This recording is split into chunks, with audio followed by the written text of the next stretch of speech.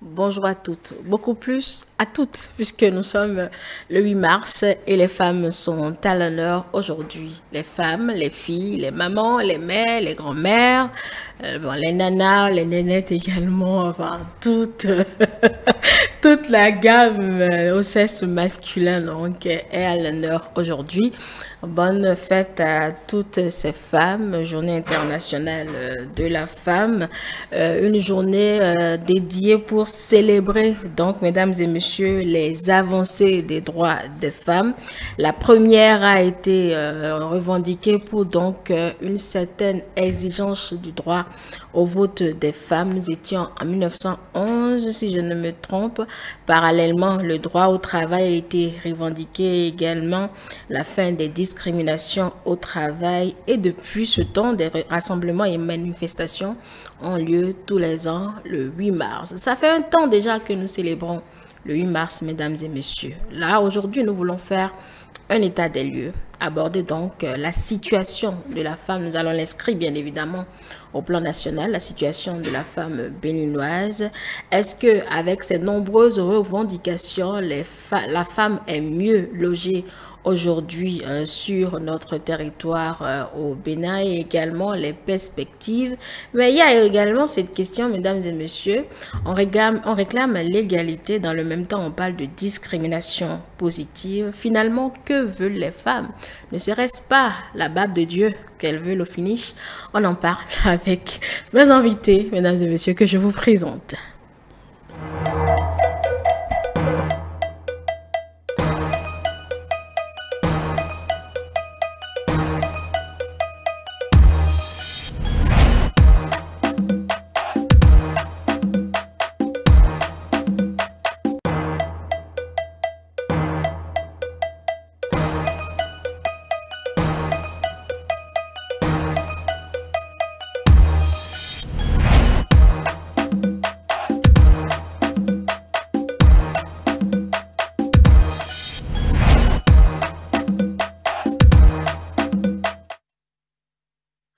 Seront quatre euh, sur ce plateau, il, parce que euh, il y aura des hommes. Voilà, en fait, on peut même pas réclamer cette égalité-là. Comme un seul homme euh, rend le nombre de femmes à il, donc il n'y a pas d'égalité. Bonjour, c'est Aléa Glago. Bonjour Angela, bonjour à tous les téléphiles et bonne fête. Merci beaucoup, bonne fête à vous aussi. Madame Aurore de Suovo, vous êtes entrepreneur. Alors, je rappelle que Léa est journaliste et également activiste pour euh, le respect des droits de la femme, et bien d'autres. Madame Aurore de vous êtes euh, formateur en entrepreneuriat. Bonjour. Oui, bonjour Angèle. Merci d'être avec nous aussi ce matin. Nous aurons euh, Borisel Assogba qui lui est journaliste et également Fulbert Adjimerosso qui est spécialiste en éco-santé et activiste des droits euh, à la santé sexuelle et reproductive. Voilà, mesdames et messieurs, mes invités pour, donc, comme je vous le disais, faire l'état des lieux du combat euh, d'égalité exigé ou réclamé, aborder également la question de la discrimination positive et enfin finir par euh, évaluer donc ou nous projeter dans le futur à travers les perspectives. Et Fulbert Adimerosso s'est également installé. Bonjour à vous Fulbert Adimerosso. Merci d'être là pour parler de la question de la femme. Nous allons démarrer nos échanges bien évidemment avec les états des lieux. Je vais commencer par vous, chers activistes sur la question.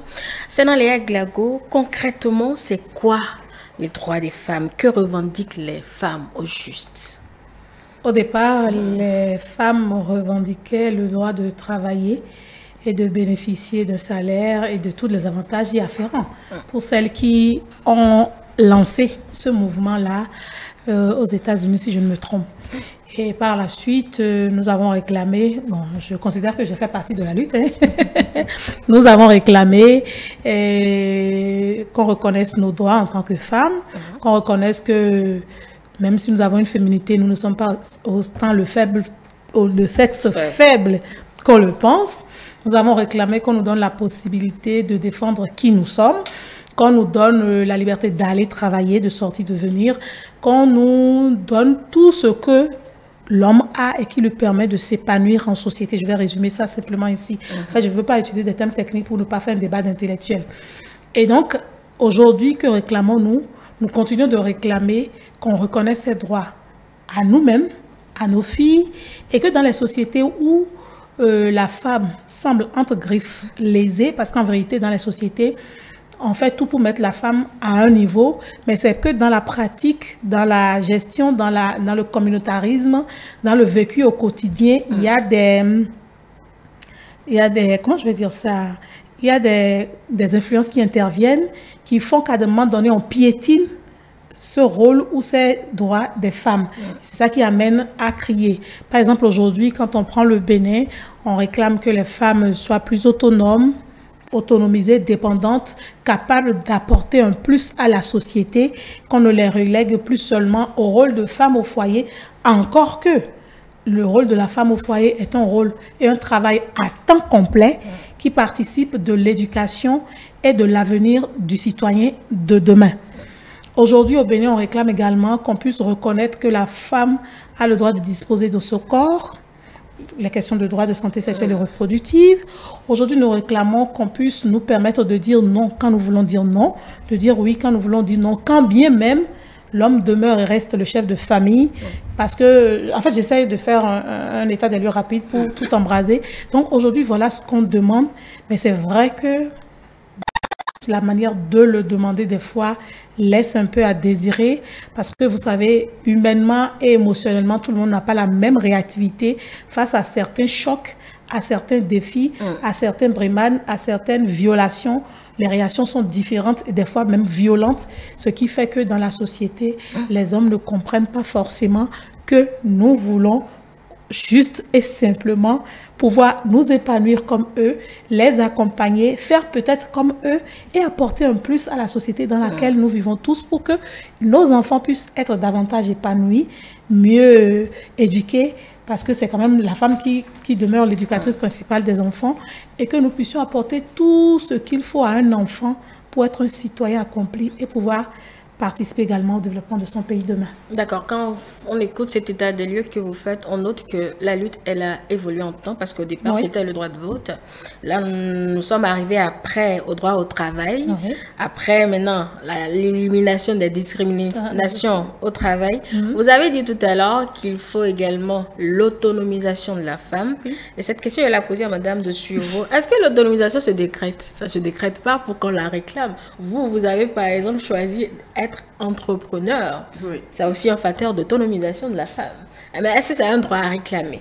Oui, c'est un droit à réclamer quand il s'agit de la femme, parce que l'homme peut décider de faire le travail qu'il désire faire. Mais généralement, bon, ça ne se remarque pas au niveau des petites filles. Même, même déjà au niveau des petites filles, les parents ont tendance à dire, voilà, si tu es une fille, il y a certains travaux que tu ne peux pas faire. Mm. Par contre, on ne, fait, on ne dit pas ça quand c'est un garçon qui fait le choix. Maintenant, quand il s'agit maintenant de la femme au foyer, mm. c'est le mari maintenant qui décide finalement, qui veut souvent décider, je veux dire, euh, de ce qu'elle doit faire ou non. Si elle, il y a des femmes qui ont quand même étudié et puis il y a toujours cette lutte euh, du fait que non, tu as étudié, c'est vrai, range tes diplômes, je souhaite que tu sois dans une boutique plutôt. Et il y a, y a, cette autonomisation qui, la, boutique aussi, c'est une sorte d'autonomisation. Euh, oui, c'est une autonomisation, mais c'est comme un genre de contrôle qui veut être fait sur la femme parce que si la femme doit rester dans une boutique alors qu'elle n'a pas l'habileté à le faire, n'a pas le don, la compétence ou l'enthousiasme à le faire, le rendement ne sera pas au rendez-vous. Et finalement, on va accuser cette même femme de ne pas dépenser assez d'énergie sur ce qu'on lui a confié parce que finalement, c'est ce que les maris vont dire. Je t'ai confié de l'argent, je t'ai ouvert une telle boutique, mais tu as dépensé tout, tu as dilapidé tout, sans tenir compte à la base qu'est-ce qu'elle-même a envie de faire pour être autonome. Il y a certaines femmes carrément, bon, on ne veut pas qu'elles travaille du tout. On dit non, je, prendrai soin de toi. Ça existe encore? Si, si, ça ah existe toujours. Oui. Il y a toujours ces, ces femmes à qui les, c'est les fiancés qui commencent par leur dire, j'étais sur le campus du mhm. sujet, les, fiancés qui disent, oui, je t'aime tellement, je prendrai soin de toi, tu n'as pas besoin de travailler. Et déjà, les, filles commencent à gober ça un petit peu. Ça fait comme un genre de plaisir. Voilà, qui ne veut pas quelqu'un qui l'aime et qui veut s'en occuper. Mais progressivement, dans le même foyer, c'est l'homme qui va finalement dire, voilà, toi, je ne sais pas à quoi tu sers dans la maison, tu ne fais rien, c'est moi qui achète tout. Et finalement, ce langage-là est tellement récurrent dans les foyers aujourd'hui alors qu'au départ, euh, cette femme a été éteinte dans son enthousiasme à travailler, n'a pas été encouragée ou pousser à, aller travailler. Donc, quand on parle de l'autonomisation de la femme, ça reste un sujet d'actualité, un sujet plein, où il faut toujours continuer à encourager les femmes à sortir, à désirer euh, euh, faire entendre, se faire entendre, et à pouvoir dire ceci, j'ai envie de le faire, et je m'engage à le faire, je, je, veux le faire bien, mm. pour pouvoir avoir des petits sous quand même, pour subvenir à mes propres besoins. Parce que même si le mari est là, et le mari donne le popote, le popote sert à préparer à manger non, aux, besoins de la femme. Ça ne sert pas si on te donne par exemple, pas n'importe quel montant, la femme va au marché, elle, des fois, elle a tendance à donner le compte de tout ce qu'elle a eu à acheter. Et puis, on m'a dit, avec tout l'argent que je t'ai donné, tu as acheté quoi? Et il y a même des hommes qui sont tellement regardants à des moments donnés. Et la femme, voilà, elle a, elle a besoin d'une certaine chaussure, elle a acheté. Et le mari remarque et dit, voilà, l'argent que je t'ai donné, tu as pas acheté chaussures avec.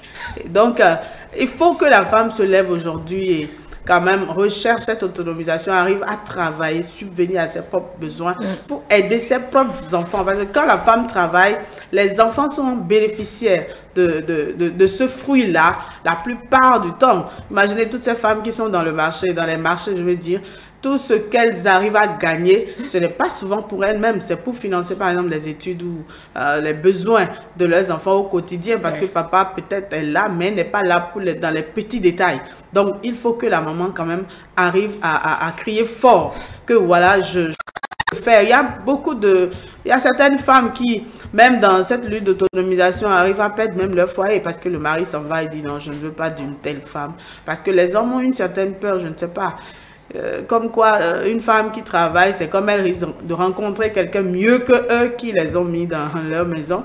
C'est comme il y a cette, cette peur-là qui, qui, se lie un peu. Donc on l'appellerait euh, manque de confiance en manque, soi. Voilà, c'est manque de confiance en soi carrément. Donc le problème reste réel, oui. D'accord. Alors Fulbert Adimeroso, vous, vous êtes un homme, vous êtes joint donc à ce combat surtout l'accès ou bien la possibilité aux femmes de décider de leur corps ou de faire de leur corps ce qu'elles veulent. Euh, vous êtes donc joint à la lutte pour changer quoi? Je ne sais pas si je peux lancer la question comme ça. C'est un peu euh, incisif, mais bon. Merci. Et c'est un plaisir pour moi de, de prêter ma voix également à, à cette cause. Parce qu'on on a l'impression que, le, que défendre les droits des femmes, c'est une question de femmes, mais c'est aussi une question d'hommes.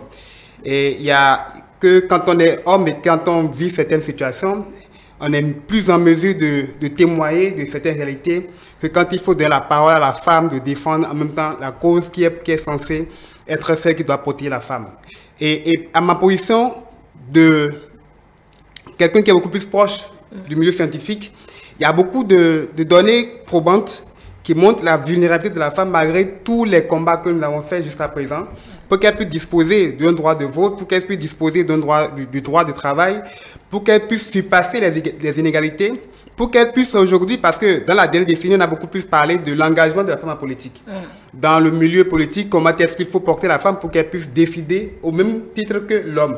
Mais aujourd'hui, on se rend compte qu'on a également beaucoup d'écarts. Quand on va dans le milieu scientifique, par exemple, vous comptez moins d'enseignants-chercheurs femmes quand vous comparez à un homme. Quand vous êtes dans, certains milieux de travail, vous avez encore beaucoup plus de discrimination qui se, qui se pose. Donc, sur, cette question, on va l'évacuer rapidement. Je, loin de moi l'idée de vous couper. Est-ce qu'on est obligé d'en arriver à une égalité, de, surtout en matière de chiffres? Quand on dit il y a moins de femmes, moins d'hommes, etc. Bon, quel est l'intérêt d'avoir les mêmes chiffres euh, sur, ces volets-là? Ce n'est pas un débat de chiffres, mais c'est un débat de position.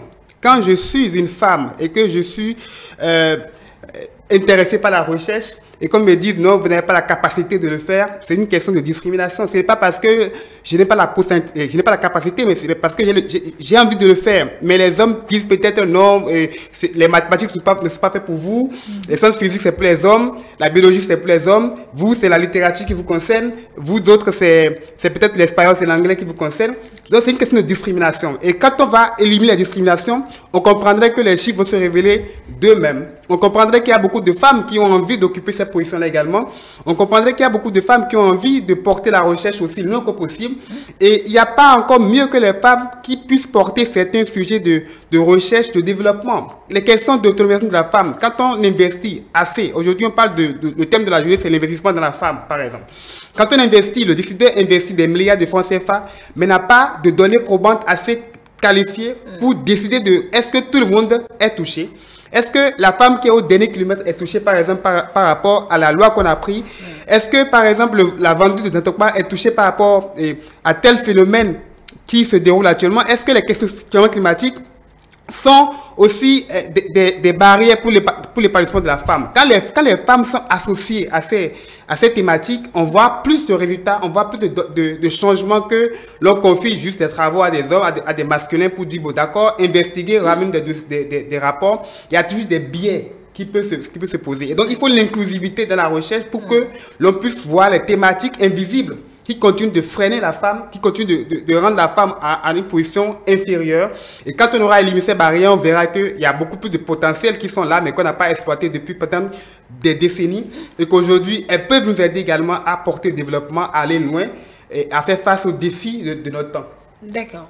On comprend donc euh, le plus que vous comptez apporter à la lutte. Merci déjà. Alors Léa, euh, avec ce, cet état des lieux, on veut comprendre déjà ce qui a changé depuis, euh, quand bien même la lutte a évolué avec le temps. Précisément, qu'est-ce qui a changé, changé dans la condition de la femme béninoise?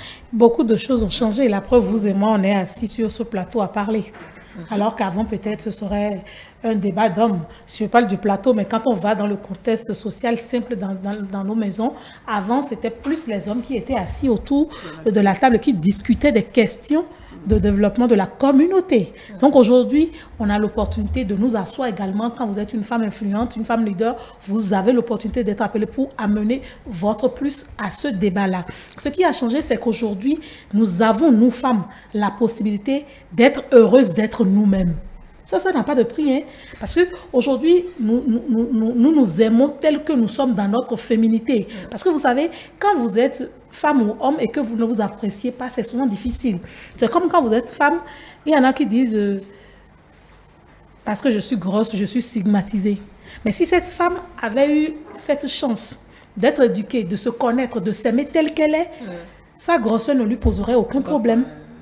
Pareil pour celle qui n'a pas du tout de l'embonpoint. Pareil également pour celle qui est, handicapée. Pareil également pour toutes sortes de femmes qui a forcément quelque chose de moins et qui pensent qu'elle est inutile. Aujourd'hui, l'inclusivité, aujourd'hui, l'investissement dans les femmes nous permet de nous dire et d'éduquer davantage nos enfants à comprendre que qui que tu sois, tant que tu as été mis au monde et créé par Dieu, c'est que tu as un potentiel, tu as un plus, tu as quelque chose à apporter à ta famille, à ta communauté et d'abord à toi-même. Et quand tu as la chance de jouir de tous tes droits pleinement, tu es heureuse, tu es satisfaite, tu as envie toujours d'aller plus loin, de te surpasser, de sortir le meilleur en toi. Tu as envie d'apporter quelque chose à l'autre et forcément, le jour où tu vas dans un foyer, ton mari en est heureux, il, a, il trouve à ses côtés une accompagnatrice, euh, un soutien et plus une charge. Parce que c'est très important. Hein. Aujourd'hui, la vie est tellement si difficile que quand la femme fait, que l'homme fait, que les deux se mettent ensemble, ça propulse la famille. Et les enfants n'en sont que plus que épanouis. Et je vous l'ai dit plus tôt, si je suis une femme à la maison, et que j'ai au moins eu la chance d'aller à l'école, de connaître certains béabas, de savoir parler français. Vous pensez que si mon enfant est malade, je vais attendre que papa revienne du voyage qu'il est, au risque de, voir perdre, de perdre mon enfant?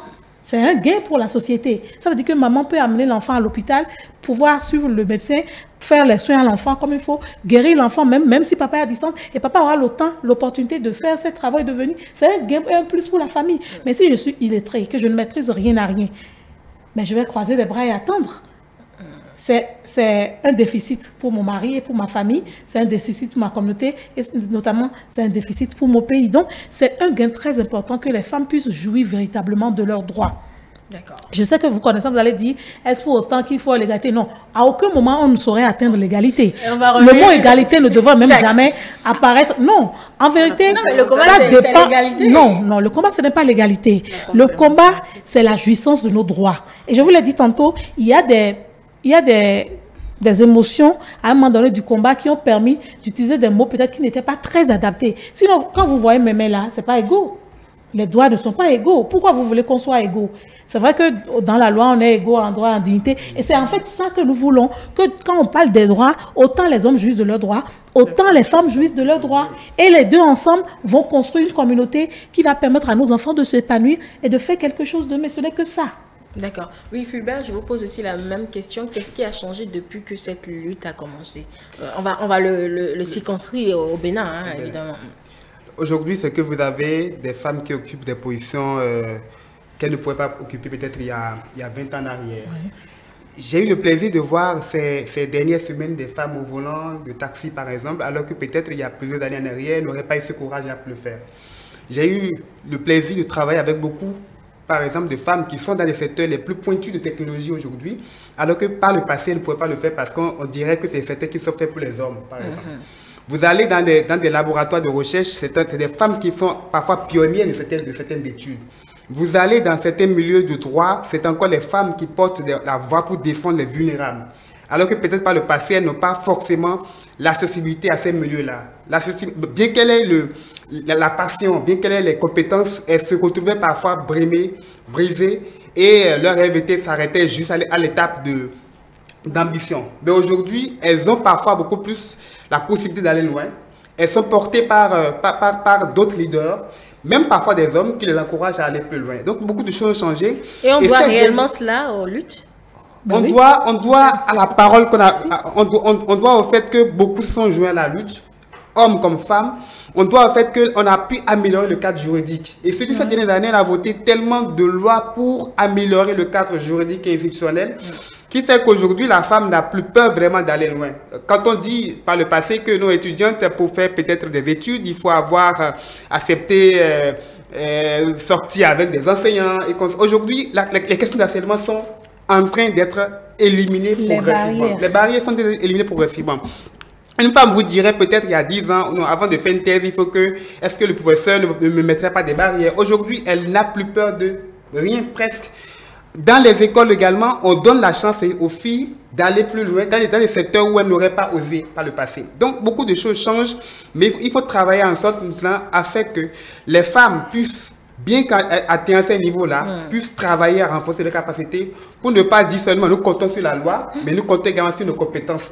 Parce que la loi vous favorise, vous arrivez à une position, mais vous vous rendez compte que si vous ne travaillez pas vous-même être autonome, vous ne pouvez pas aller loin. Aujourd'hui, la loi favorise la femme. Elle devient suppléante obligatoire. Les élections législatives dernières nous ont montré qu'elles ont la possibilité d'arriver à un certain niveau donné. Mais le reste, il faut qu'elles se battent pour pouvoir occuper des postes de décision au sein de ces parlements-là. Donc la loi vous aide à atteindre un niveau donné. Le reste, vous devez avoir le leadership possible. Travailler à convaincre les hommes, à leur montrer nous pouvons y arriver pour pouvoir aller de l'avant. Et donc je crois qu'on a changé, on a fait beaucoup de pas, il y a eu beaucoup de progrès. Et, et si on mettait cette dynamique-là, je crois que nous ferons beaucoup plus dans le futur. Est-ce qu'on peut travailler à convaincre alors que tout nous est dû? Madame de Suyovo, je ne sais pas si vous comprenez ma question. que toi, Oui, en fait, c'est- en fait, il faut toujours continuer à, à convaincre, en fait. Parce que euh, venant d'une famille de filles, je comprends mieux certaines choses. Par exemple, euh, quand il y a un père qui n'a fait que des filles, finalement, la famille dit, voilà, c'est comme euh, rien n'a été fait dans cette famille, et puis c'est les hommes. Mais aujourd'hui, les femmes arrivent, au, au fur et à mesure que ces avancées sont notifiées, ces relais, le- la communication passe, les parents commencent par gagner de la confiance. Parce que la femme qui va au foyer, qui n'a fait que des filles, à un moment donné, se lamentait un peu dans son cœur. Et le mari s'en allait pour dire, voilà, toi, tu ne fais que des filles et je vais aller chercher un garçon quelque part. Donc aujourd'hui, le droit à l'héritage, les parents peuvent dire, oui, j'ai fait des filles, ces filles-là peuvent hériter. Parce que ce n'est pas seulement, c'est dit, la société est au courant désormais que la femme aussi peut, la fille aussi peut. Donc je crois que ça, c'est des avancées, mais il ne faut pas s'arrêter déjà là. Il faut continuer à relayer ces, ces avancées, continuer à parler hautement de ces droits. Souvent, quand on parle ça, c'est vrai, les hommes ont tendance à dire qu'on en demande un peu trop, mais on n'en demande pas trop. On essaie seulement de répéter pour que la chose soit connue. Bon, dans les villes, c'est un peu connu, mais quand on s'éloigne un peu plus des villes, la situation demeure un peu beaucoup là-bas. hein. J'étais dans le nord du pays, les filles, imaginons, euh, déjà à 14, 15 ans, font déjà se marier et déjà ont des enfants et ont tellement de responsabilités. Il suffit seulement que si tu arrives déjà en sixième, c'est comme tu as déjà trop étudié. C'est le master. Et on dit non, c'est le master, oui, dans les villages, c'est le master. Et il faut aller dans, dans un foyer euh, pour aller commencer par féconder là, parce que c'est là-bas ta place. Or, il faut continuer à relayer, à, faire sortir ces femmes quand même qui, qui, qui sont sorties dans la société pour que ces gens qui sont dans les lieux reculés comprennent que la femme n'est pas seulement faite pour limiter ses études, mais pour pouvoir étudier davantage et que leurs filles peuvent devenir des élites. De, quand, par exemple, le, président a donné un, un exemple très fort en, en prenant une vice-présidente du Nord, c'est pas anodin. Ça, ça attire les regards de ces milieux un peu défavorisés à voir que voilà, celle-là, c'est quand même une fille, c'est une femme. Et aujourd'hui, elle est vice-présidente de mm. toute une nation. Donc, moi aussi, mon enfant peut aller un peu plus loin dans les études pour pouvoir euh, convoiter ses postes de responsabilité élevés. Donc, en tout cas, la lutte continue. Euh, les objectifs sont en train d'être atteints. Ce n'est pas encore fini. Aujourd'hui, il y a une avancée de la loi qui, moi, me réjouit aussi quand on voit la naissance des enfants où on dit euh, déjà la naissance de l'enfant, l'enfant, peut porter le nom de son père et de sa mère. C'est une avancée vraiment louable euh, au Bénin. Parce que je me rappelle, j'étais allée chercher la, euh, une attestation de mon garçon euh, à Porto. Et il fallait que j'apporte ma carte d'identité pour qu'on sache que je suis sa mère. Hmm. Alors que directement, le nom de père n'était pas contesté. Mais pour trouver que c'est sa mère, il faut d'abord trouver toi ton date de naissance. Alors que si déjà sur l'acte de naissance, l'enfant porte directement le nom du père et de la mère, comme l'avancée qui a été faite, il n'y aurait pas cette doute, cette confusion C'est même pour hein. représenter. Passer la frontière simplement avec votre enfant. Voilà. Et, On demande les pièces. Et il faut justifier que c'est ton enfant alors que tu es une femme, c'est toi qui as porté l'enfant. Et ça faisait que euh, les, les hommes se ce target là, ça, rejette tout le privilège des enfants. Quand une, femme quitte le foyer, on te dit c'est notre enfant, on te l'arrache. Mais aujourd'hui, avec cette avancée qu'on a connue au Bénin, je crois que c'est devenu un peu moitié-moitié. C'est ton enfant, c'est mon enfant aussi. Donc, en tout cas, on progresse, on progresse tout doucement et on doit aller encore davantage. Et je reste toujours avec vous. Vous avez mis le curseur sur euh, tout de suite les milieux ruraux. Pensez-vous que les femmes là-bas euh, se sentent intéressées euh, ou se sentent enrôlées par ce combat-là concrètement. Vous avez donné l'exemple de la cession à la terre. Il y a des femmes qui disent dans notre famille, on n'accède pas la terre. C'est déjà dans leur tête comme ça et ne discutent même pas. Si tu discutes, on connaît euh, ce qui va suivre. Est-ce que vous pensez qu'elles se sont enrôlées concrètement euh, dans ce combat? Est-ce qu'il y a un impact sur elles? Oui, davantage les femmes sortent. Quand j'ai lancé la dernière fois, dans un fin village à Waké, là-bas, j'ai vu pas d'une vingtaine de femmes qui étaient présentes. Alors qu'à Ketou, il y avait seulement une seule femme au milieu de 20 garçons. J'étais, j'étais sidérée mm. à voir que ces femmes soient là, quand même, qui aient pu participer à ces échanges d'une certaine... On n'a pas fait deux heures de temps, on a fait au-delà. Mm. Et qu'elle avait interagi euh, dans deux, trois villages différents. Ça m'a, ça m'a épaté parce que plus on communique avec ces femmes, plus elles sortent de l'ignorance. Elles voient la valeur de ce qu'on dit. Parce que c'était l'ignorance qui faisait que ces femmes ne s'intéressaient à rien. Mais mm. quand on communique, on leur donne le bien fondé, oui, tu as des terres, tu peux les exploiter, tu peux trouver des gens qui peuvent travailler avec toi, ça va t'amener à avoir du chiffre et tu vas pouvoir sortir de, de, de, de ton, précarité. de ta précarité. Les femmes sont intéressées, les femmes arrivent à adhérer et, elles se sentent fières de retrouver euh, une femme qui a la tête et, veulent toujours souvent faire chose. Donc il faut continuer à aller vers. C'est souvent que ces luttes sont restées souvent dans la ville. Et ces, gens, ces milieux n'ont pas de télévision parce que à Cotonou, on a la télévision où tout est relayé. Dans les milieux ruraux, il faut plutôt aller au contact de la population, leur expliquer l'avantage, l'importance. Mais il y a dans nos cultures aussi, il y a euh, un peu loin, hein, quelque part où la femme est dominante, hein, vers matériel là-bas, où on t'explique quand même que c'est une société matriarcale. Mm-hmm. Et dans leur culture, c'est matriarcal. L'homme n'a pas trop de, de, pouvoir là. Donc, en tout cas, il faut continuer à relayer le bien fondé parce que des fois, les hommes perçoivent ça comme une certaine rébellion. Quand la femme quand on fait de ces genres de communication, on explique les droits et qu'on sort, les hommes disent non, c'est des femmes rebelles qui veulent vous monter la tête. Moi, il y a des gens qui m'ont demandé ça, par exemple, est-ce que vous ne voulez pas monter la tête? À mhm. nos femmes et j'ai dit non, monter la tête à vos femmes, ce n'est pas ça, mais leur révéler ce qu'elles peuvent faire. Et c'est à l'avantage du foyer et de vous-même les hommes.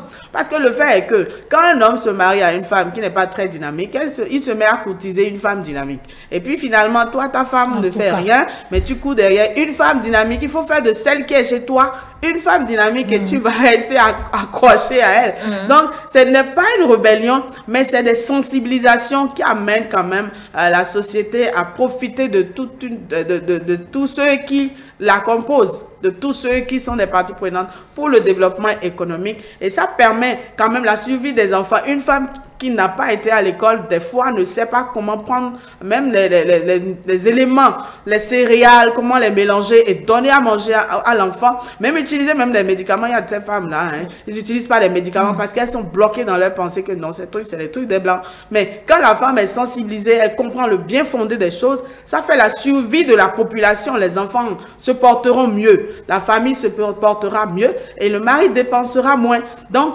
les hommes doivent comprendre que ce n'est pas une rébellion, ce n'est pas euh, le fait de le réveiller les gens dessus le truc là, mais ça participe quand même au développement économique de, toute une société. Je demandais si ce n'est pas devenu par hasard un combat d'élite. Non, ce n'est pas un combat d'élite. Vous savez, euh, Madame l'a dit tout à l'heure, c'est parce que nous sommes là actuellement en ville que peut-être on a l'impression que rien ne se passe dans les villages. Et si vous avez la chance comme nous, Madame, et certainement euh, Fulbert et moi, quand vous allez effectivement sur le terrain, vous vous rendez compte en fait que les choses changent, que les choses bougent. Et vous savez, dans les régions les plus reculées de notre pays, jusqu'au nord de notre pays, quand vous avez des séances de sensibilisation, la majorité des personnes que vous voyez dans la foule, c'est plus des femmes. Bah, euh, nous, et les sommes dominants enfin, en matière de chiffres. Oui, oui, nous sommes dominants, mais euh, c'est que les choses changent parce qu'avant, vous ne verrez que des hommes. Et aujourd'hui, ce qui est encore mieux, et c'est pour cela que j'ai dit sur un plateau précédent ici que le combat ne saurait être fait sans les hommes. C'est que quand vous voyez les quelques rares hommes qui participent, ont poussé leurs femmes à venir et les, les encourage tellement à venir qu'elles sont obligées de tellement suivre, de venir faire un point à la maison pour que les bonnes décisions soient prises pour la famille. Et c'est pour cela que quand on veut changer les choses, l'éducation est essentielle. Et quand on dit éducation, il faudrait que les internautes, les auditeurs, les téléspectateurs comprennent qu'on ne parle pas d'éducation pour porter veste, cravate et être dans un bureau. Non. Aujourd'hui, l'éducation dont on parle, c'est l'éducation qui permet à quelqu'un de pouvoir parler le minimum et d'échanger avec quelqu'un. C'est ça qui lui permet, si je suis coiffeur, je suis couturier, si je suis agriculteur, aviculteur, euh, éleveur, etc., de pouvoir mener mon activité, de pouvoir rentabiliser mon activité afin de nourrir ma famille, d'investir davantage et de finalement devenir euh, peut-être... Euh, l'élément incontournable de ma localité. Parce qu'en le faisant ainsi, on se développe, on développe sa communauté et on développe son pays. Et donc aujourd'hui, on ne dit plus, on ne fait plus les sensibilisations ou on ne parle pas de la défense des droits des femmes seulement pour rester dans le style accoé intellectuel qui parle français, qui connaît que français. Non. Quand vous, moi, vous allez me voir dans, sur le terrain dans certaines régions, je m'adapte, j'essaie d'apprendre les langues et puis vous allez même vous n'aurez même plus envie de revenir en ville. Parce que là-bas, les gens sont ouverts, accessibles et ne demandent qu'à apprendre. On dit que l'ignorance, euh, c'est ça qui tue. Et quand les gens ont l'information, ça passe. Et c'est là où je voudrais, à travers cette journée du 8 mars, pouvoir demander à chaque femme, moi personnellement, je le demande à chaque femme qui déjà a un niveau comme nous, de pouvoir retourner de temps en temps derrière là où il a quitté. C'est-à-dire quoi? Son village, sa communauté, là où il a grandi, etc. Pour montrer à cette communauté qu'on est resté un exemple ou qu'on peut être un exemple, qu'on peut être un modèle ou que quelqu'un peut s'inspirer de nous pour devenir mieux. Et là, je parle aux femmes parce que vous savez, aujourd'hui, l'éducation qui marche, c'est l'éducation par l'exemple, par le modèle. Si moi, je retourne là où j'ai grandi, dans le quartier où j'ai grandi, et que je retrouve ne serait-ce qu'un ou deux éléments, ils vont me faire de la publicité, les filles qui n'y croyaient peut-être pas, au moment où ils racontaient pour dire on a grandi ensemble, ne croyaient pas, vont se dire ah, mais tiens, la dame est revenue là où elle a quitté, donc ça veut dire que moi-même je peux la dépasser. Et puis ça, en fait, ça fait une effet de profusion, et puis ça se disperse, et puis le résultat sera plus important. Donc il est essentiel que chaque fille, même si elle ne veut pas aller à l'école pour devenir un grand cadre demain, comprenne qu'elle doit au minimum avoir une formation professionnelle afin de davantage être épanouie elle-même. Parce qu'aujourd'hui, la formation professionnelle est ouverte, c'est à foison dans notre pays. Madame qui est entrepreneur, qui est sur le terrain, elle forme les gens, elle mieux que quiconque peut vous dire que ça marche. Moi, personnellement, qui suis ici, je vous en prie, hein, mon mari aura beau me donner des millions, je ne suis pas sûre que m'asseoir à la maison me rendrait heureuse. Parce qu'il faut que j'aille, que je revienne, que j'apporte un plus. Et ce n'est que ça aussi que nous, femmes, parce qu'effectivement, quand vous avez passé la chanson tout à l'heure, j'ai écouté, j'ai dit, la dame a tout dit. Parce que dans la chanson, elle disait, c'est toi qui donnes l'éducation, c'est toi qui donnes la vie, c'est toi qui éduques la communauté, la famille, c'est toi qui donnes les premiers rudiments à l'enfant. C'est à toi seulement de pouvoir tout faire pour changer la donne. Et donc, le combat aujourd'hui, c'est de convaincre les hommes, encore que les hommes ont été toujours convaincus qu'il faut se battre. Donc il n'y a plus rien à faire en fait. Non, les hommes ont été toujours convaincus. C'est juste que des fois, quand ils font le combat avec nous, les retours que nous leur donnons ne leur donnent pas euh, ce calme d'esprit, cet apaisement qui leur permet de faire, ne les rassure pas. Parce que je vous en supplie, il y en a parmi nous, effectivement, quand, quand le retour revient, c'est un effet boomerang qui tend à tout détruire au lieu de construire. Et quand c'est comme ça, souffrez qu'il y ait des hommes qui sont encore réticents. Et donc, pour les quelques hommes réticents, pour les quelques femmes, pour ces personnes qui ne comprennent pas encore l'enjeu, on est obligé de continuer à célébrer cette journée. Moi, je me réjouis particulièrement que cette journée ne se célèbre plus seulement avec faste, euh, dans la... dans- avec faste, je vais Avec les antennes en fait. Bon, non. Bon, bon, Je- non, non, non, moi, j'ai pas porté d'antenne. Alors, ça, c'est pour taquiner, mais j'ai pas porté d'antenne. Non, non, j'ai porté un, un petit chapeau. Oui. Non, en fait, ce que j'essaie de dire, c'est que il faudrait qu'on profite davantage de cette journée du 8 mars. Chacun à notre niveau, hein. On peut même, en tant que maman ou sœur, réunir sa petite famille autour de soi et, et partager des expériences. Parce que vous savez, quand vous partagez des expériences, vous donnez l'opportunité à l'autre aussi de se dire, c'est possible. Mais quand vous ne partagez pas, et que c'est vous qui dites tout le temps, parce qu'il y a des gens dans la société qui vous négativisent tout au point où vous avez peur. Et quand je dis vous, là, je parle aux filles. Quand elles commencent par avoir peur, elles n'ont plus envie de faire aucun effort, quels qu'en soient les moyens qu'on met à leur niveau. Chères filles, rien n'est jamais facile. Et vous savez, quand c'est facile là, on, a, on ne sent pas le goût. C'est quand c'est difficile et que vous vous battez, vous transpirez, et puis vous arrivez au résultat. Dépenser cet argent même est difficile. C'est ça, Enfin, ça marche. on- on donc, c'est possible. Donc, une fille qui me regarde, si elle est au CI, elle n'a qu'à comprendre que son combat en tant que fille, là, là, c'est de se battre pour aller au CP jusqu'à avoir peut-être le CEP, continuer jusqu'au BPC, décider de faire une formation professionnelle et commencer par faire quelque chose et être autonome elle-même avant peut-être de se dire qu'elle veut se marier pour, pour que demain, si elle fait des enfants dans un foyer, ces enfants également puissent faire son cheminement et ainsi, on n'aura même plus de problème. Et si on continue de dire qu'on ne peut pas défendre les droits des filles, comme vous le dites, ou vous pensez qu'on veut arracher la barbe de Dieu, non, non, on ne veut pas la barbe de Dieu. Dieu même sait que nous, là, on a droit. Bah, euh, Mais c'est qu'à un moment donné, nous-mêmes, on a oublié qu'on avait un mérite. D'accord. On a oublié. Et Dieu merci, il y a des hommes qui acceptent de nous accompagner pour nous rappeler qu'on a un mérite. Donc, il faut les remercier. Elle a dit de continuer. Mais comment ne pas penser que vous, que, bon, vous, parce que là, moi, je n'ai pas de position sur Oui, ce oui, plateau, euh, vous voulez la, Non, la barbe de Dieu, puisque euh, vous dites, on a fait l'état des lieux, là, on est au cœur du débat, vous dites que ben, euh, vous réclamez l'autonomisation, vous réclamez, etc., etc. Dans le même temps, vous acceptez une certaine discrimination positive. Alors, finalement, euh, le, con- le combat serait-il selon le contexte qui arrange? Non. Vous savez, on dit qu'à chaque époque, ça lutte aussi. hein. C'est selon les époques qu'on fait les luttes. Aujourd'hui, on parle d'autonomisation. Parce qu'on s'est rendu compte qu'on a beau envoyer les filles à l'école, les scolariser, leur demander d'apprendre un métier, elles manquent d'être elles-mêmes. Un foyer, c'est je, c'est tu et c'est nous. Je, je vais toujours au foyer parce que c'est dans le foyer que naît l'enfant et c'est dans ce foyer qu'est éduqué le futur citoyen de demain. Si moi, je ne sais rien faire, je suis inutile, ou que je sais faire quelque chose, et que par la force des choses, avec mon compagnon, je décide d'être inutile, et que c'est toujours lui seul qui doit venir chaque fois sortir, investir, à un moment donné, il sera épuisé. Et le jour, malheureusement, il va tomber sur une fille qui sera prête à financer comme lui a investi. C'est forcément que celle-là viendra me me seconder et puis je vais me plaindre. Alors que si je suis autonome, que je fais. En fait, l'autonomisation dont, dont on parle, c'est d'abord être soi-même, savoir faire quelque chose, pouvoir faire cette chose-là pour gagner sa vie Oui, d'abord. d'accord. Mais pourquoi accepter la discrimination positive? C'est- C'était ça la Non, question. non, vous Pourquoi savez, la discrimination, non. qu'on ne tourne pas en rond Non, on ne, non, non, on ne tourne pas en rond. La discrimination politique, si c'est pour parler du positionnement, de tout ce qui est intervenu à l'Assemblée nationale, c'est ça. hein, Etc. Ouais. etc. Cette discrimination positive est nécessaire parce que ce n'est qu'une injustice de la société qui est corrigée. Bon, je vais laisser les autres répondre. Mais pour moi, c'est une injustice. Vous savez, je vous ai dit au départ que nous sommes dans une société où il y a des injustices qui sont intervenues. Non pas qu'on ne comprenne pas que les femmes ont droit, mais c'est que à un moment donné, puisque les femmes ont laissé leur pouvoir et que les hommes s'en sont accaparés, il fallait aussi refaire le chemin retour pour reprendre. Vous savez, ce que vous, vous combattez pour avoir est plus, est plus, est plus bon à manger que ce que vous, on vous offre. fort. Quand on vous offre quelque chose là, là, vous gaspillez puis ça finit. Et puis vous repartez pour reprendre la main. Mais si vous avez lutté, que vous êtes battu pour l'avoir, vous avez plus de facilité. Vous savez, il y a des femmes comme nous qui sommes ici, qui pouvons nous défendre. il y a d'autres qui sont vulnérables. Il y a des personnes handicapées qui, qui ne peuvent que voir leurs droits défendus. Et il y a que, à travers des personnes comme nous, des sensibilisations peuvent permettre aux gens de comprendre qu'une personne handicapée est une personne à part entière et non une personne qu'il faut mettre entièrement à part.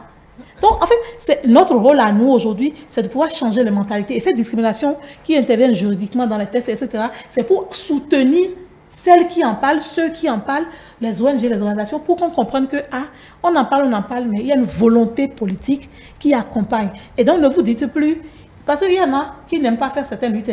Quand tu dis, par exemple, une fille doit aller à l'école, quelqu'un peut te dire, c'est quelle loi qui dit qu'il faut aller à l'école? Si la personne connaît la Constitution et que tu lui montres que dans la Constitution, on dit que tout le monde a droit à l'éducation, là, il va se dire, ah, donc c'est vrai.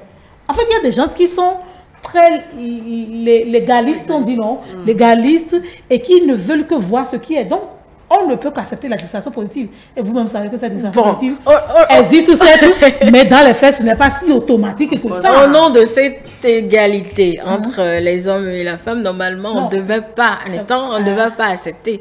Euh, pense beaucoup de, gens, des observateurs qui de loin regardent un peu le combat avec recul, disent les femmes réclament, réclament, réclament, et elles se battent pour avoir. Là, on leur donne une certaine facilité et elles acceptent au finish, qu'est-ce qu'elles veulent en réalité, Fulbert il faut créer, il faut créer l'environnement pour l'épanouissement de la femme. Quand vous, quand vous avez des femmes qui ont envie, c'est parce qu'elles ont envie d'être, par exemple, députées, législatrices, qu'elles militent dans des partis politiques, par exemple et qu'elles font des 2 ans, 3 ans, 10 ans, 20 ans sans jamais occuper une, un poste de décision, par exemple. Si elles sont dynamiques, oui, elles sont dynamiques, elles doivent, elles doivent sortir du lot. Mais les hommes ne les positionnent jamais sur une liste pour les élections si ce n'est que pour rester, pour jouer le second rôle, jouer le rôle de suppléant.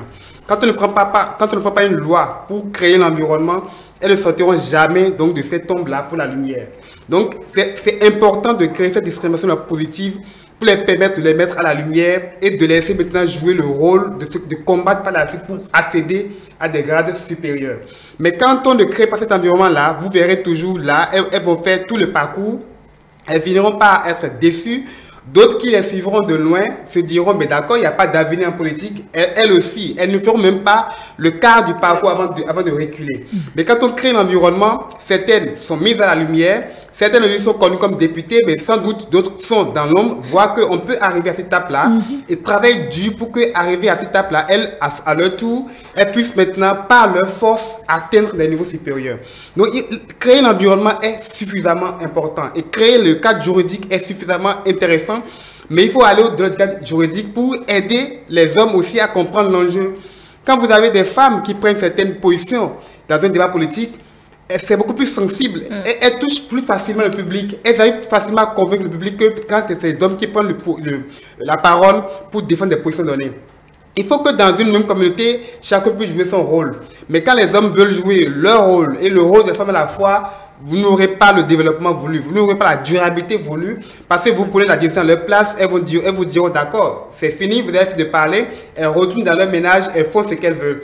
Mais quand, quand elles sont impliquées, quand la décision est inclusive, vous avez leur prise de position, vous savez si elles sont d'accord ou pas. Vous avez maintenant, vous travaillez maintenant à remodeler votre décision si vous pensez qu'elles ne sont pas d'accord. Et vous avez maintenant une mesure qui puisse être inclusive, qui pourrait favoriser euh, euh, la durabilité. Mhm. Je suppose par exemple qu'on décide de, taxer, euh, de, de, fixer le prix de l'accès à l'eau potable dans les villages. Mhm. Je suppose que c'est les hommes seuls qui ont fixé le prix d'accès à l'eau potable on décide maintenant de gérer les, points d'accès à l'eau. On, confie ça également aux hommes. Les femmes se réunissent entre elles et disent, mais finalement, c'est toujours eux. Ils n'ont qu'à gérer, par exemple. Dès qu'il y aura un problème, elles vont, se, elles vont rester en arrière. Mais quand elles étaient, si elles étaient associées en amont, elles vous diront, attention, telle façon de vous avez fixé le prix là, vous êtes sûr que ça va aller. Nous, nous avons déjà vécu telle, telle expérience, nous savons tel facteur qui, qui doit être pris en compte considérer telle mesure et diminuer peut-être le prix ou tenir compte de telle autre pour pouvoir confier la gestion à telle personne. Là, dès qu'il y a un problème, elles se sentent aussi concernées, elles viennent à la rescousse, elles apportent également leur contribution et spontanément, vous avez le boulevard pour continuer à gérer. Donc, il faut, il faut associer intimement la femme à la gestion. Il faut travailler à ce qu'elle puisse donner leur apport également leur contribution, il faut travailler à ce qu'elles puissent dire également leurs mots. Et pour que ça soit ainsi, il faut leur apporter l'information. Et c'est ce qui manque le plus. Pour qu'on puisse faire des choix éclairés, vous devez avoir l'information. On vous dit, d'accord, vous devez, euh, vous êtes des personnes à risque, par exemple, de, quand vous avez atteint un certain nombre de, de gestes de, de maternité, Ouais. vous, vous avez plus de risques de mortalité, par exemple, euh, euh, euh, maternelle. Mais vous n'avez pas l'information et vous, a- vous, a- vous avez encore une nouvelle grossesse. Vous n'avez pas le droit de disposer de votre corps. Donc, vous vous exposez à la mortalité maternelle. Vous avez telle condition dans laquelle vous vivez et votre enfant est exposé à ce risque également. Si vous n'avez pas l'information, vous allez continuer à exposer vos enfants à l'infection et là, ça va toujours continuer les cas de décès néonatal. Il faut apporter une information à la femme pour qu'elle puisse comprendre attention. C'est le moment pour moi de planifier ma les naissances. C'est le moment pour moi de peut-être d'adopter une méthode contraceptive par exemple. C'est le moment pour moi par exemple de- d'espacer les naissances. Là, vous n'aurez plus à avoir des, à regretter des cas de décès maternel, par exemple. Quand vous avez des femmes qui sont allées à l'école et qui deviennent des champions, des modèles dans la société, quand elles reviennent, comme tout à l'heure l'a dit, quand elles reviennent, elles, inspirent à nouveau les jeunes filles qui sont à l'école, qui disent par exemple, est-ce que je ferai tout ça, j'aurai le bac et puis finir par être encore chômeur, vendeuse de, de, de, de, de, de, de- de- de tel produit ou tel autre dans, dans, dans- dans un quartier. Mais quand elles, voient que telle personne a réussi à atteindre un niveau donné, attention, il faut que je me batte davantage, il faut que je puisse davantage apprendre à postuler peut-être à des opportunités pour aller plus loin. Mais quand celles qui réussissent ne le disent pas le secret aux plus jeunes, elles resteront toujours dans l'ignorance. Elles vont penser que celles qui ont réussi, c'est parce qu'elles ont dû laisser passer certaines, euh, euh, c'est- euh, choses. Elles ont dû se livrer à certains, à certains comportements pour avoir accéder à ces postes-là. Il faut qu'on partage l'expérience également avec les plus jeunes, avec celles qui n'ont pas réussi. Il faut qu'on partage le succès. Il faut qu'on partage les pistes de solutions afin que ceux qui sont en arrière et celles qui sont en arrière puissent comprendre qu'on peut arriver un jour à atteindre euh, un niveau donné. Hier, ou avant-hier, j'ai lu sur la page Facebook de l'athlète béninoise qui qui a, qui a décroché une médaille historique pour le Bénin. Mais elle, elle a dû persévérer pour y arriver. Elle a dû combattre pour y arriver. Donc, quand on ne montre pas aux femmes que le succès réside dans la, dans, la bataille, dans le combat, et qu'on leur dit simplement, d'accord, vous pouvez y arriver, vous voulez quelle loi? Telle loi pour favoriser. Voici la loi, et si ça arrête simplement à ça, vous n'aurez pas le résultat. Vous aurez l'environnement qui est favorisé, mais vous n'aurez pas le résultat par la suite. Donc, il faut à la fois apporter les meilleures conditions dans un environnement donné, apporter ensuite l'information pour qu'elle puisse continuer à combattre, apporter les moyens également, parce que sans les moyens, même si vous êtes un environnement donné, sans les moyens, vous ne pouvez pas faire du, du miracle. Donc, Mais, il mais- faut mais- apporter- mais- il mais faut quand on met la condition en place, il n'y a plus de combat au fait. Ça crée une Il y a jurisprudence. combat. Un instant. Un instant. Ça crée une jurisprudence et on réclame tout. Là, par exemple, on a donné, les, on a donné le cas euh, de la discrimination positive. Elles en réclament encore. Non, non, je, Elles, je- non, non. elles en réclament Non, encore. Angèle, elles c'est veulent plus d'opposition. L'environnement est certes favorisé. Mais vous pensez que parce que l'environnement est favorisé, si je me lève demain que je vais vers un parti politique, qu'on va me mettre en tant que responsable? Jamais. Il faut d'abord que je l'environnement est là. Mais l'apprenante ou la, la- la fille doit savoir que il faut que je commence déjà dans mon quartier, dans ma communauté, dans mon école, à, me battre pour les autres, à me mettre au devant de la scène. Et quand la, la- la- la fille, puisqu'on parle de femmes, aura fini ce processus, elle doit savoir qu'arrivé à un moment donné, je dois faire partie d'une association, d'une organisation, pour apprendre davantage à militer. Un jour, je dois faire partie d'un parti politique. C'est tout un cheminement. L'environnement n'est que ce que vous voyez, mais c'est tout un travail qui prend du temps derrière. Et ce n'est que quand elle intègre le parti politique maintenant qu'elle doit pouvoir montrer dans le parti politique qu'elle n'est pas venue parce qu'elle est femme. Elle est venue parce qu'elle a quelque chose dans la tête. Elle est venue parce qu'elle a des idées pour le parti. Elle est venue parce qu'elle a quelque chose qui peut apporter un plus au parti. Et ce n'est qu'à ce moment qu'on dit, ah mais celle-là, si nous voulons aller à telle élection et que nous avons dans notre projet sur société ce pan et que dans sa logique, c'est ce qu'elle veut faire, elle est à même de nous défendre. Positionnons-la. Ce n'est- C'est tout un cheminement. Ce n'est pas si... Bon, attendez, un instant. Vous, vous êtes journaliste à ETélé. Quand vous êtes venu ici à auto- automatiquement, vous avez mis à l'écran La réponse est sûre que c'est non. Vous avez dû montrer que vous êtes Bah, capable. si. Mais voilà. Donc, en fait, La réponse, elle est oui. Donc, l'environnement, J'ai eu, le temps de faire mon métier et donc d'avoir la main. l'environnement dont vous parlez, le cadre réglementaire et puis cette discrimination politique dont vous parlez, n'est que ce qu'on voit, mais c'est tout un cheminement. Vous pensez que moi, là, j'ai mis quand même près d'une vingtaine d'années avant de commencer Avant par parler comme ça et d'être à l'aise à l'écran. Sinon, au départ, là, là, moi-même, là, j'aurais fui depuis. Oui, non, moi, ben, c'est pas que je. Pas du gâteau. non, mais c'est l'impression que nous ça donne. Non, non, non, un instant, l'expérience, puisqu'on est toujours au chapitre politique, puisqu'on est toujours au chapitre politique, mhm. euh, faisons cet état des lieux, par exemple, l'espace qui a été donné, le nombre, mhm. est-ce que les femmes sont allées au-delà? Justement, et c'est pas encore allé au-delà. Bon, je, je prends et vous, vous complétez. C'est pour ça, en fait, parce que le nombre n'a pas été suffisant, qu'on n'a pas eu beaucoup de femmes, qu'il faut que davantage de femmes s'impliquent. Et qu'on leur donne encore un peu plus de discrimination. Non, non. Si c'est 30 femmes et que pour cette fois-ci, on sait, je, je, dis n'importe quoi, puisque je n'ai pas les chiffres en tête, on n'a eu que 20, ça veut dire qu'il y a encore 10 places de disponibles et que pour les prochaines élections qui s'annoncent en 2026, il faudrait que les femmes se battent davantage à se faire reconnaître dans leur parti politique pour que quand on ira peut-être à cette élection ou à d'autres jours électorales, qu'on puisse être nombreuses à postuler pour que même les responsables des partis politiques aient plus le choix. Aient, l'embarras du choix. Il y a de la place. Oui, Madame de Souyo, vous, vous avez la place. La, discrimination positive, en vérité, permet à beaucoup de femmes de sortir, de, de, mettre la, oui, la tête de l'eau. Et puis, non seulement ça, il faudrait que les hommes les y aident. Parce que si euh, le combat d'une discrimination femme... a une exclusion également, parce que toute discrimination... Non, non, c'est pas une exclusion, c'est quand même... réclamer. Non, mais non, ça ne vous concerne plus. Ah non, ça Au-delà de, de la politique, hein. quand par exemple, il y a même des recrutements, on dit surtout si c'est une femme. On ajoute souvent ces... Et pourtant, on trouve pas Et pourtant, on le trouve Parce que les femmes, généralement, ont ces complexes. Les femmes ont beaucoup trop de complexes. Dans une société qui est masculine, hein, totalement. Et puis, on nous éduque dans la Totalement. On éduque même, les parents éduquent même les enfants. On dit, toi, tu vois, tu es une fille. Il faut, il faut... chez le garçon là-bas, il faut vraiment pas trop parler, il faut être soumise, toutes ces histoires-là.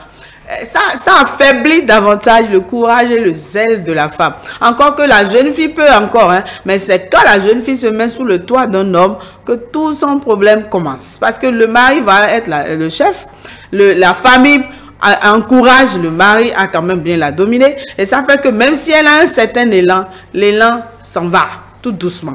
Maintenant, avec les cadres qui sont mis, les cadres, les favoritismes, enfin, euh, l'environnement qui est en train d'être créé ces femmes peuvent dire oui, je le veux. Et puis l'État aussi m'encourage à aller de l'avant. Et puis euh, au-delà de oui, c'est qu'est-ce que toi tu t'en vas faire? C'est pourquoi on, dit souvent que les réunions politiques, il faut quand même être un peu garçon pour pouvoir être à ces réunions politiques. Parce que les heures à laquelle il hmm. faudrait aller assister, il faudrait, il faudrait être un peu courageux pour être à ces réunions, pouvoir euh, durer le, nombre de, de temps qu'il dure dans ces débats-là et pouvoir être une femme qui quand même est un un peu autoritaire en griffe pour pouvoir tenir tête à ces débats et se faire entendre. Donc il y a tellement de choses qu'il faut euh, développer dans la femme pour obtenir déjà ce niveau, ce résultat que l'État attend. Maintenant, si l'État euh, n'avait pas mis en place ces cet environnement-là, la société va continuer à être seulement que des hommes. Et plus les choses sont que des hommes,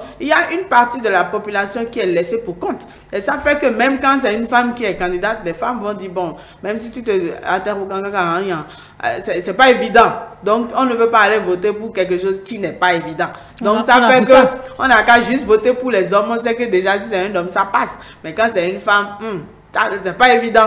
Mais avec l'environnement qui est créé, ceux, même les votants maintenant peuvent dire oui, oh, on a vu. Donc, si je tiens à soutenir une telle femme, c'est possible qu'elle puisse y aller parce que l'État même a créé des, un environnement favorable. Donc, ça amène la femme à aller un peu plus de l'avant parce qu'elle sait que la loi la protège, l'environnement la protège. Et au pire des cas, elle peut sortir maintenant ses droits, ces textes qui sont dans, dans la Constitution pour dire oui, n'avez-vous pas dit que nous sommes tous égalité, nous avons tous l'égalité devant la loi parce que c'est la loi là qui permet à tout le monde aujourd'hui de, de revendiquer sa position. Nous sommes tous égaux devant la loi. Donc, si nous sommes égaux, regardez ceci réclame, pour réclamer s'il y a des injustices qui ont été commises, pour que ces injustices soient corrigées et pour que maintenant, les hommes puissent quand même respecter ces femmes et considérer ces femmes qui sont avec eux dans leur combat et puissent dire voilà maintenant parce que les hommes quand ils comprennent quelque chose ils n'aiment pas trop expliquer à la femme à des moments donnés hein. ils, se disent on n'a pas le temps de toi t'expliquer si toi tu ne comprends pas maintenant s'ils comprennent qu'il y a une certaine discrimination qui a été en train d'être faite ils ont intérêt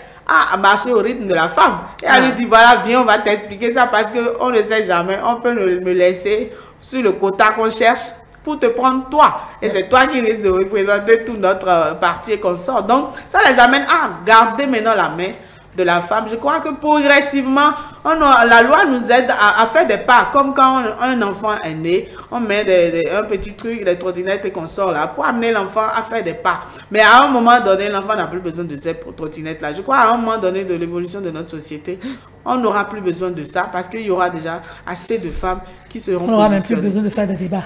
Voilà, on n'aura plus besoin de faire des débats. Allez, le Fulbert a dit, reçu, puisque j'ai euh, Borissel qui nous attend et que c'est la journée de la femme, je vais vous poser deux questions et recevoir maintenant euh, euh Première question. Alors, est-ce que ces évolutions positives au finish n'excluent pas les hommes? Puisque, comme je le disais, toute discrimination est exclusion. Deuxième question, est-ce que vous comprenez ce que finalement les femmes veulent au juste? Voilà.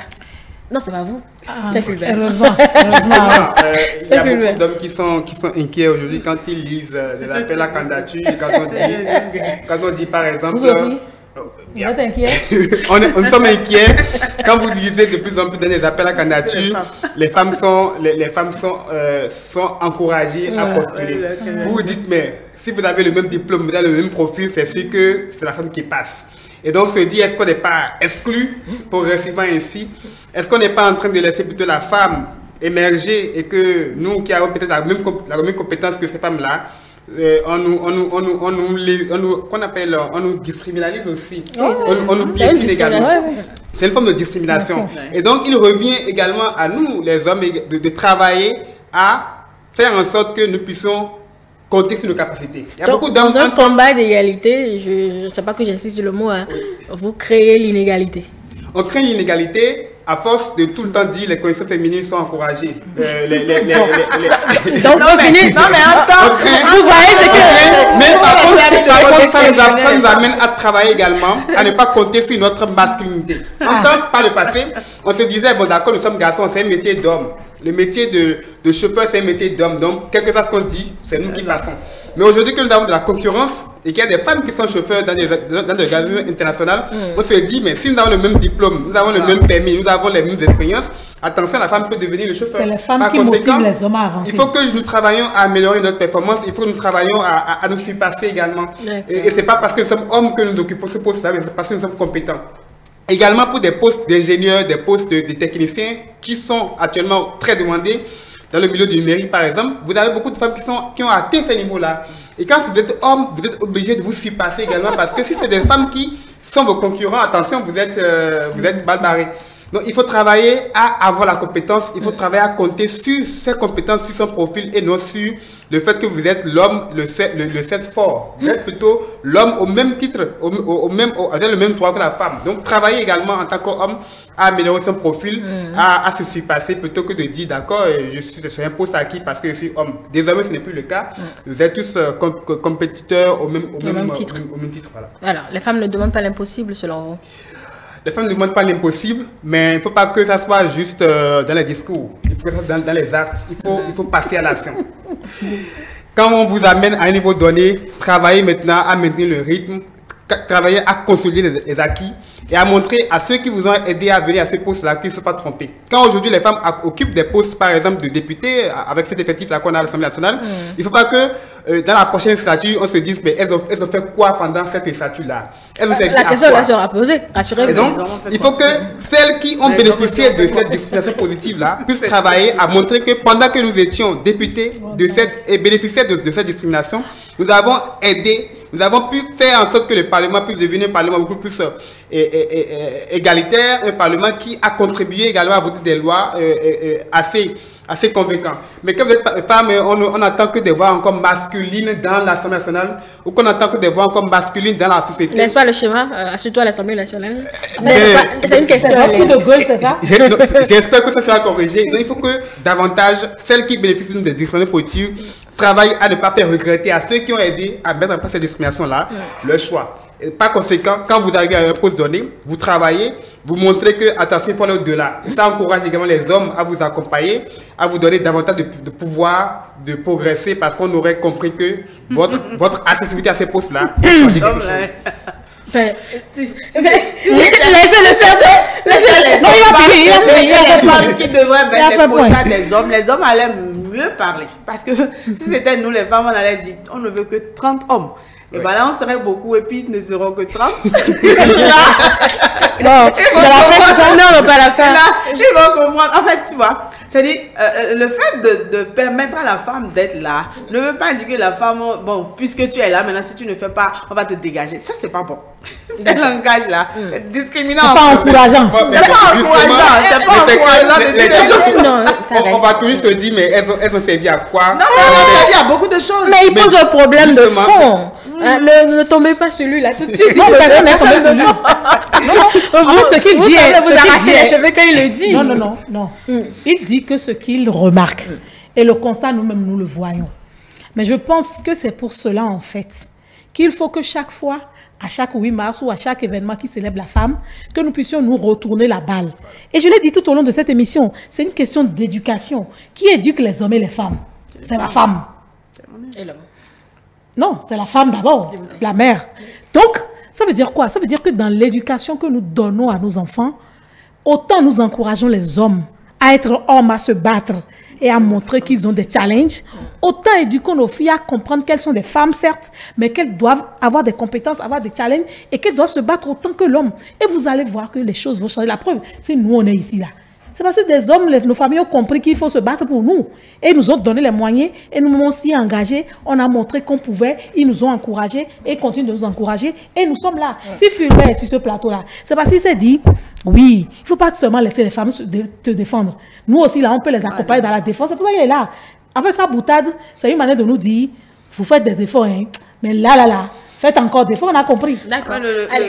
La femme, a- on a toujours demandé euh, plus à la femme Ah, que l'homme. bon. Moi, par exemple, je me rappelle un jour, je, je suis pasteur et, et j'étais allée dans une famille. Quand j'avais dit que j'étais pasteur, la femme a dit Hum.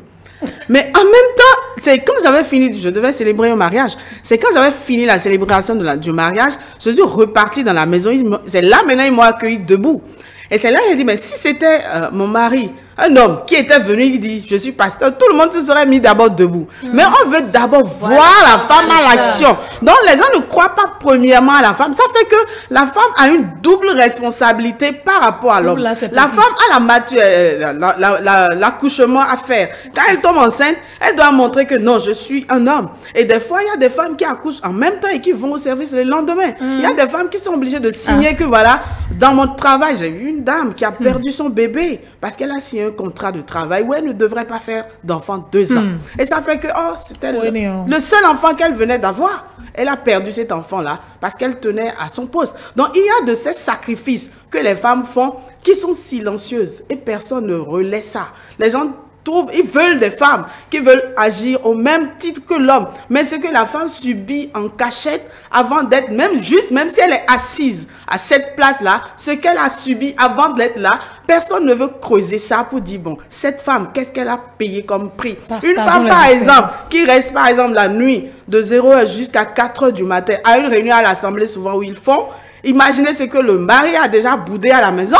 Imaginez le retour quand il va rentrer à la maison 5h du matin. Le mari ne va même pas dire bonne arrivée. Toi, tu as quitté où?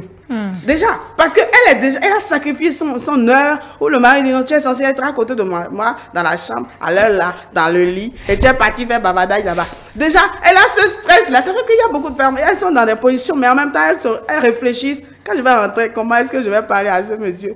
Pour qu'il me reçoive à la maison. Donc, encourageons les femmes dans les petits sacrifices que la femme fait et reconnaissons ces c'est sacrifice, hein. sacrifices-là. Ça, fait, ça, ça va monter davantage des femmes. Parce que c'est ça qui fait qu'il y a beaucoup de femmes qui n'agissent pas à des moments donnés, Ouais. qui préfèrent rester dans leur coin parce qu'elles regardent tout le prix que je vais payer. Est-ce qu'on va me reconnaître ça un jour? Ou bien on va me dire, je ne fais pas autant. Un homme ne peut jamais porter un enfant. Ça, c'est impossible. Oui, Mais la femme peut faire des enfants et perdre son service à cause de ce qu'elle est tombée enceinte. Mais elle doit répondre. Donc, la femme, nous encourageons toujours la femme à, à sortir la tête. Si la femme croit qu'elle peut, c'est qu'elle peut. Et elle est prête à sacrifier tout pour ce qu'elle dit. Elle peut. Donc, il faudrait que les hommes croient davantage et encouragent la femme et comprennent la femme et accompagnent. Quand tu as une femme qui dit je veux faire la politique, au lieu de dire qu'est-ce que tu vas aller faire dans les histoires d'hommes, dis-lui je t'encourage ma chérie, vas-y. je suis derrière toi, Je te soutiens. Que de lui dire, toi là, tu es venu à quelle heure? Tu ne m'as même pas fait à manger. Tu as laissé les enfants à qui? Tu n'as même pas balayé la maison. C'est des petits détails qu'on entend souvent ça. Donc, il faudrait corriger ces langages-là et encourager la femme au nom de 8 mars qu'on est en train de Et elle doit faire euh, beaucoup plus pour mériter ce qu'on lui donne. Voilà. Ah, va Merci à vous. Fulbert.